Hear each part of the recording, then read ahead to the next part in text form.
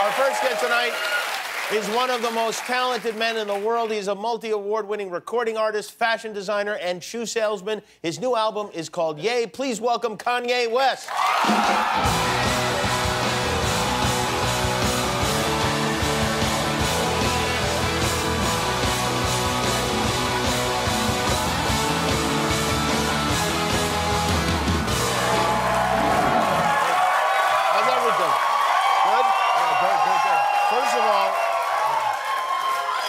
Thanks for being here, and thank you for the shoes. Nobody ever brings me shoes. You brought me shoes. That's very nice of you, very kind. And I'll tell you a story, and this is honestly true. The last time, a few years ago, you sent me a pair of Yeezys. I have never in my life had more people come up and talk to me than when I was walking around in them. to the point where I was like, this is crazy. I got to get these off. People are chasing me. I- I'm worried people are going to beat me up and take these. Usually people wait like uh, on, they see them sleeping on the street waiting for these shoes. Is that for you more rewarding than hearing people say they like your music? Both. It's both are. Yeah. yeah. Yeah. Sometimes it's like the thing you are accustomed to hearing, and you start hearing something else, and it's more exciting to hear something else. But not for you.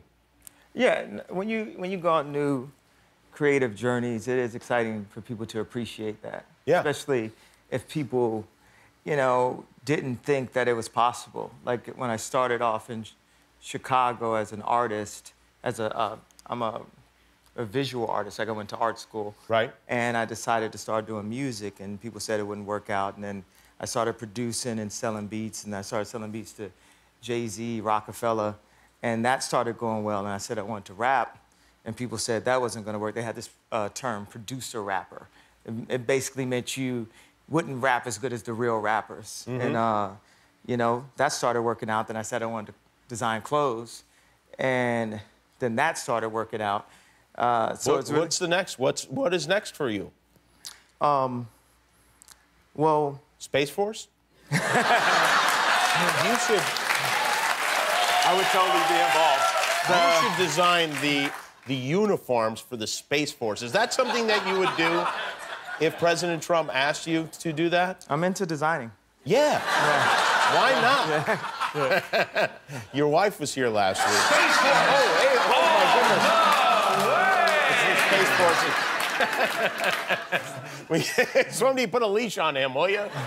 Uh, your wife was here last week, and she was she's very nice, and she did something that I would imagine you're very proud of. She went to Washington, she spoke to the president, and she actually convinced him to grant clemency to a woman who got life in prison, like real life in prison, for a first-time drug offense. Was that something that uh, you discussed with her before she did it? Well, she's super passionate about it, and it was amazing for her to see that dream come true.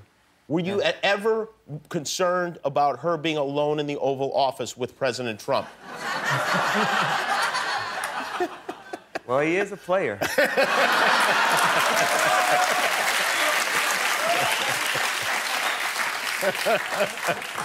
People got really mad when you were. Well, people. Some people were very happy when you said you like President Trump.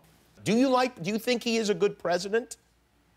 You, you're going to ask me, can I answer the first question you're going to ask? Ask, answer whatever you want.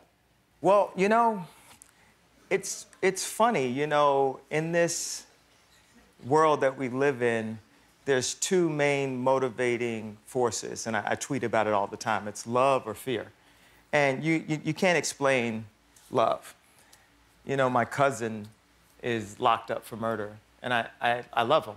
I saw he did a bad thing, but I still love him. Um, and just as a musician, uh, African American, guy out in Hollywood, all these different things, you know, everyone around me tried to pick my candidate for me. And then told me every time I said I like Trump that I couldn't say it out loud or my career would be over. I'd get kicked out the black community because blacks are, we're supposed to have a monolithic thought. We can only like, we can only be Democrats and all. So, um, it, even when I said it right before I went to the hospital and I expressed myself, and when I came out, I had lost my confidence. So I didn't have the, the confidence to take on the world and the possible backlash. And it took me a year and a half to have the confidence to stand up and put on the hat, no matter what the consequences were. And what it represented to me is not about policies, and because I'm, I'm not a politician like that, but it represent it represented overcoming fear and doing what you felt, no matter what anyone said, and saying, you can't bully me. Liberals can't bully me, news can't bully me, the hip hop community, they can't bully me. Because at that point, if I'm afraid to be me, I'm no longer yay. That's what makes yay.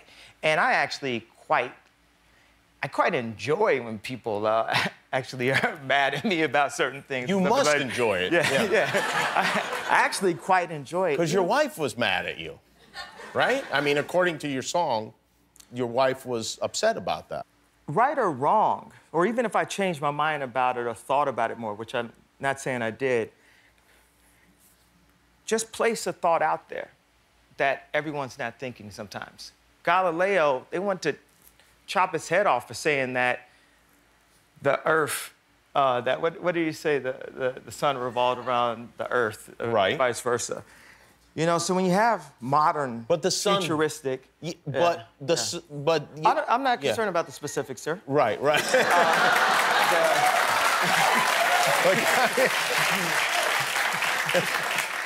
Do you ever regret anything you say, or is it just like you just look at it like, hey, I put it out there, it's out there, there's no point in regretting it?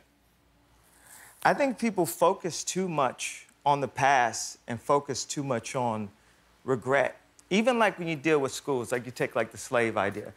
My, my point is, I've heard of history class. I, have never heard of a class that breaks down how you, you know, balance a checkbook or how you control your finances, which uh, my father never taught me that. And I've never heard of a future class. So they keep us so focused on history that we start to believe that it actually repeats itself and we become overly traditional and we can't advance as a race of beings. We get too caught up in the past and what everyone's saying and what everyone's tweeting. And sometimes you just have to be fearless enough to break the simulation. And when I mean simulation, this is what I mean by the simulation. Sorry, I know you guys wanted to clap, but everything I'm gonna say is gonna be amazing. Uh,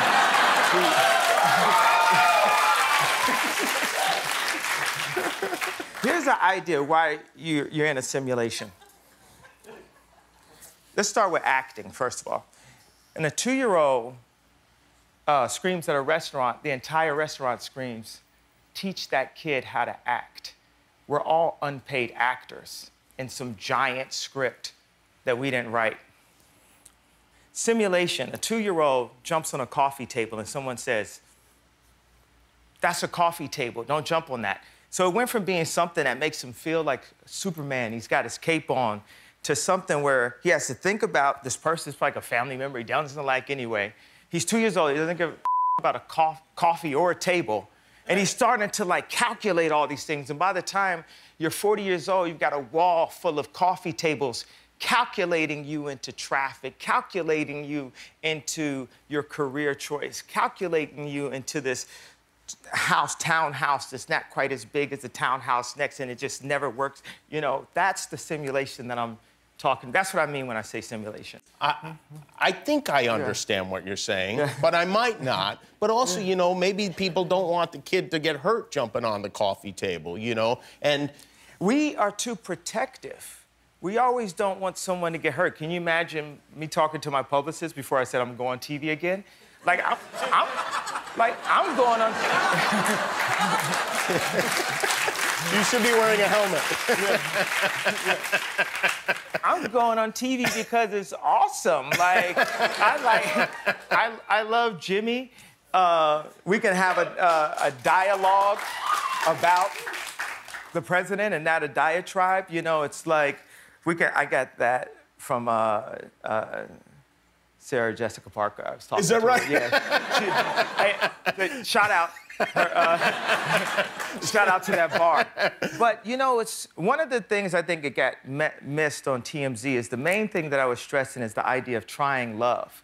You know, we're always, you know, pushing out so much hate, and love can cure so much. Just to think, am I moving in love? Is this out of love, not out of pride? Pride is a word that people often say in a positive connotation, but it's actually one of the seven deadly sins. And it takes too much ownership, but you can replace pride with love. And when I see people just even like go at the president, it's like, why not try love for one person to stand up against all odds and just hug somebody the way that Alice Johnson hugged her family when she got out of jail. That one by one by one, we can defuse this nuclear bomb of hate that we're in as a society by thinking of everyone as our family. And how would we treat our kids? How would we treat I think that's a beautiful thought, but just in literal terms, Yeah. there are families being torn apart at the border of this country. There are, are literally families being torn apart as a result of what this president is doing. And I think that, you know, we cannot forget that whether we like his personality or or not, the, his actions are really what what matter. I mean, you so famously and so powerfully said George Bush doesn't care about black people. It makes me wonder what makes you think that Donald Trump does, or any people at all. Why don't we take a break? We'll come back and uh, Kanye West is Yeah, here. yeah. His album's called Yo. We'll be right back. Kanye is on the cover. We just got this magazine, uh, Bazaar Magazine. There you are with your kids. Oh, they, they're very, very cute. Climbing on your head. Do you dress them? Do you pick their outfits? Mm-hmm. You do? Is that fun for you? Mm-hmm. Do you design outfits for them? Mm-hmm. You do? Do they love that? I mean, do they Yes. understand that process that you draw something and then it becomes their clothes? Yeah, my daughter went to a fashion camp for five days a couple weeks ago, and I visited her, visited her, and we put together, we put the thread through the sewing machine, and it really brought me to tears to think about the 15 years that I've been working on apparel, and for my friend Virgil to be the head of Louis Vuitton, and for me to have this, you know, 1.8 billion dollar company out of. Uh, you know, a thread going through. And she, she, my daughter asked me, Daddy, do you have a sewing machine, sewing machine like this at your office? And I brought her to my office, and she did a bunch of sketches. And um, my head pattern cutter made her dresses right there Really? uh, for her. So she loves coming to the office and doing sketches. Boy, that's so much Yeah. more fun than my dad's office. Yeah. One of the songs on your album uh, is is about it, you're in the song, and correct me if I have any of this wrong. You're imagining your daughter as an adult dating and men looking at her, and you're very very worked up about this, prematurely, some might say. um, do you think about that? You think that far ahead?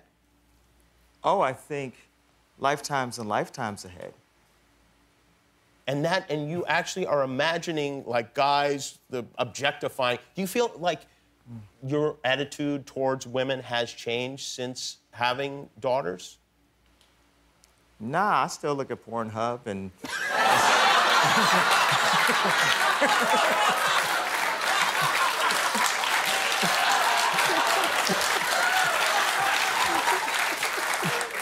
what kind of stuff do you look at what categories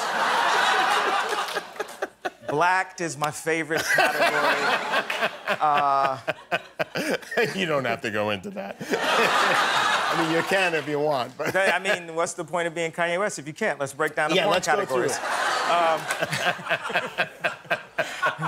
a lot of, a lot of uh, black on white, obviously. oh yeah uh-huh. So it's mirroring your own self your own situation My own reality. Yeah, right. it's like doubly masturbating in a way, if you think about it. How do you do that? I need that double. I'll show you after the show. No, I don't want to see. You um, you have some uh, really heavy songs. One of them is called "I Thought About Killing You." Is that song about somebody in particular? And is it me?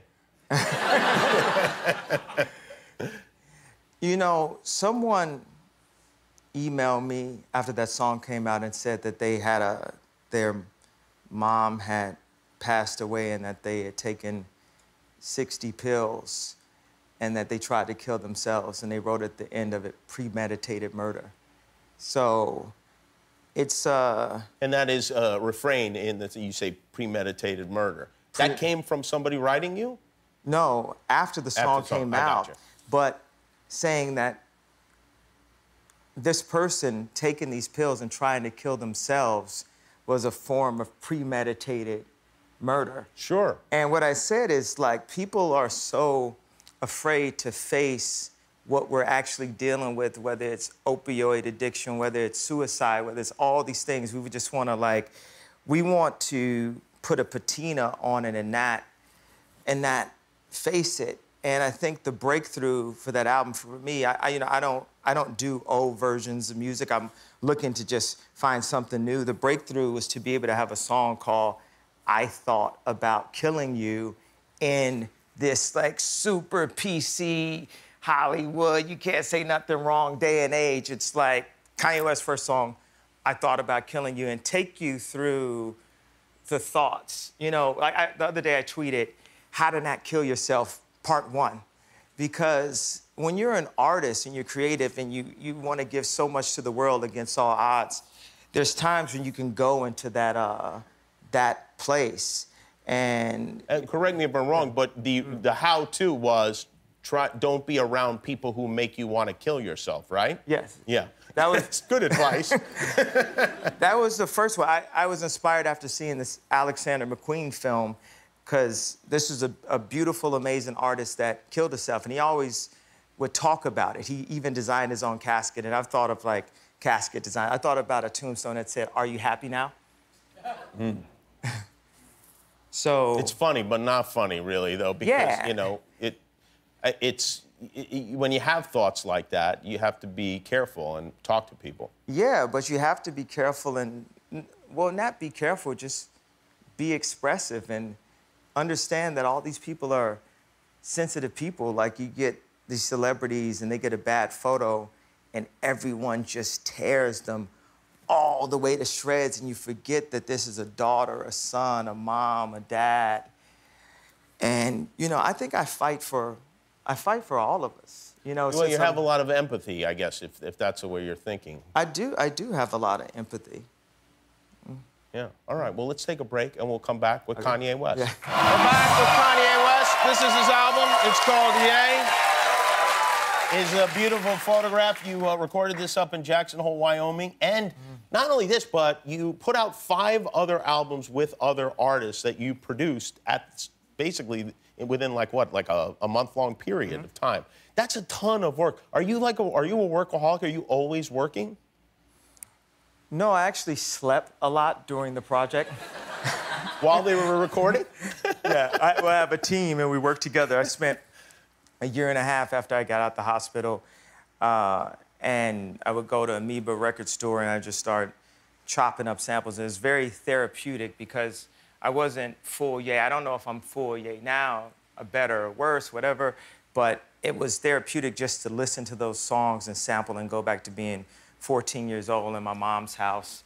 And by the time it was time to do the uh, to put the albums out, we have a, a whole team at Yeezy Sound that will help come and do the drums, help with lyrics, help with choruses, and I'd give like six, seven people ideas that I want on the song, and I just go to sleep and just wait for them to.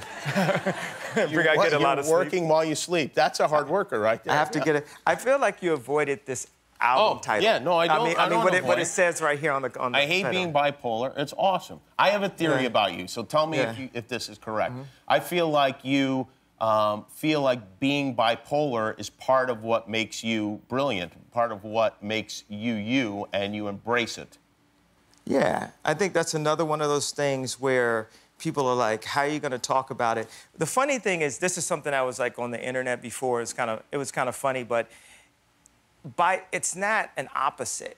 It's not I hate being bipolar. It's awesome. It's actually it drives more of how you really feel. It doesn't do an opposite thing. So I think it's important for us to have conversations about, you know, open conversations about mental health, uh, especially with me being black because we never had therapists in the black community. We never approached like taking medication. And I, I think it's good that when I had my first complete blackout at age five, my mom didn't fully medicate me because I might have never been yay. And there's times where mm-hmm. at least I'm happy that I know. Like even like for this interview, I knew I wanted to stay in a calm state because by the time I got to TMZ, I was ramped up. So what was awesome is that the world got to really experience someone in a ramped up state. And that's when you get these comments that just shoot out, like almost like Tourette's. Because you have highs and lows. And when you have a high, you're on a roll. And when you have a well, low, you're well, not. Well, there's some cases of bipolar where people go low. I'm, I'm one that uh, goes high. I see. Like, like Michelle Obama said. So you like, don't have extreme periods of, of depression? Oh, no. No. Oh. No. Because I just say it. I'll say on real TV, like, oh, I thought about killing myself, and then the thought is gone, you know? Wow. So all people need to do is get on TV. That's really the solution. well, they need to be able to express themselves without fear of judgment. What I love telling people is like, who do you know? And yeah, let's go, especially black men, but you know, I'm 41 years old, and I don't know anyone, you know, that up as much as I have that's still as successful. So I want to prove that you can get fat, you can say the wrong things, you And can you- piss a whole And you city can be president of the United States. Well, yeah, it's uh, yeah. yeah. There's one person. Kanye West, everybody. This is his album. It's called Yay. I am Jimmy Kimmel. I hope you enjoyed that video. Hit subscribe, and all your dreams will come true, assuming your dreams are to watch more YouTube videos.